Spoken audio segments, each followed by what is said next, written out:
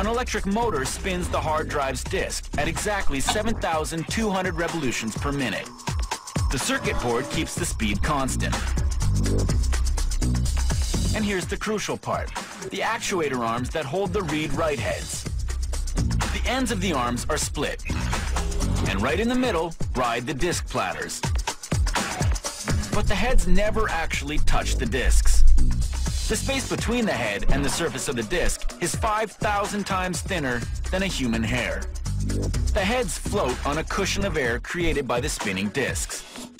An absolutely essential cushion that prevents the head from crashing on the disk. And what a crash it would be. Talking about a crash is not only a metaphor. At these tiny scales, the weight of the heads really compares to the weight of a 747 airplane. A 747 airplane packed with 100,000 passengers, flying at 60 miles per hour, one one hundredth of an inch from the ground. Ouch. There's no friction to slow things down, so the arms can move the heads to write or access data up to 60 times per second. The engine that drives the arms is invisible, because it's an electromagnetic system driven by two forces of nature, electricity and magnetism, which makes the arms move back and forth across the disk at lightning speed. That's it for the components. Now here comes the data. The data is stored inside tiny concentric tracks on the disk's surface. During manufacture, up to 200,000 of these tracks are created on the disk. Each track is divided into sectors. A map of the tracks and sectors in the printed circuit board tells the heads exactly where to read or write information. The surface of the disk is smooth and shiny, but look closer. It's way more complicated. A magnetic film on the surface memorizes all the information.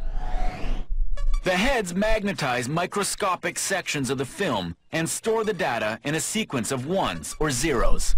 Each one or zero is called a bit. The value of each bit is determined by the orientation of its magnetic field, plus or minus. And it doesn't take long for the bits to add up.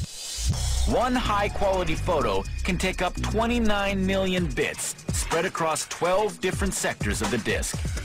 This sounds incredibly massive, but in reality, a stupefying quantity of bits can fit in an extremely small space. Each square centimeter of the disk's surface holds 31 billion bits.